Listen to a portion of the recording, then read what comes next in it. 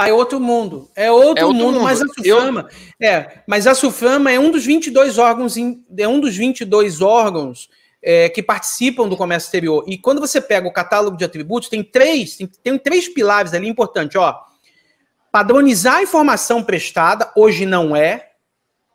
Definir as informações necessárias para o processo de despacho aduaneiro de cada mercadoria e melhorar a identificação da mercadoria para fins de controles aduaneiros e administrativos, estatísticos, tributáveis e de valoração aduaneira. É por isso que está demorando. Imagina, 37 órgãos, 37 setores, 22 órgãos, 10 mil produtos, que é o arcabouço da é, NCM.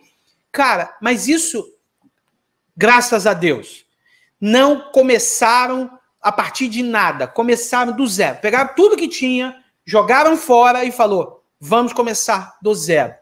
Era para 2019, 2020, 2021 e tomara que seja em 2022.